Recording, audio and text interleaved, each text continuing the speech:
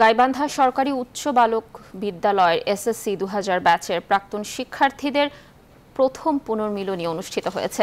রবিবার বিভিন্ন আনুষ্ঠানিকতার মাধ্যমে চলে এই পুনর্মিলনী অনুষ্ঠান।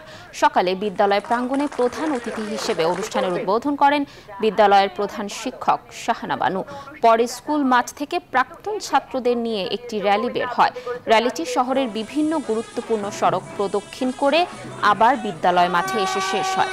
দিনব্যাপী এই পুনর্মিলনী অনুষ্ঠানে ছিল খেলাধুলা, আলোচনা, সাংস্কৃতিক অনুষ্ঠান সহ বিভিন্ন আয়োজন।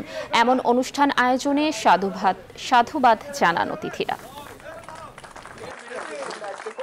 তেইশ বছর পরে সহপাঠীদের সাথে একত্রিত হওয়ার যে উল্লাস, আনন্দ, সেটা তারা আজকে উপভোগ করবে। আমি তাদের আজকের এই দিনব্যাপী প্রোগ্রামের সাফল্য কামনা করছি।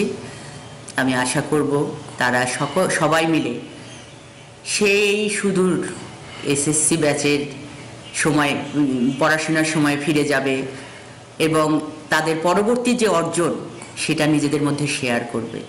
কেনাকাটায় একশো পার্সেন্ট পর্যন্ত ক্যাশব্যাক জিতে নিন বিএমডব্লিউ সহ হাজার হাজার পুরস্কার।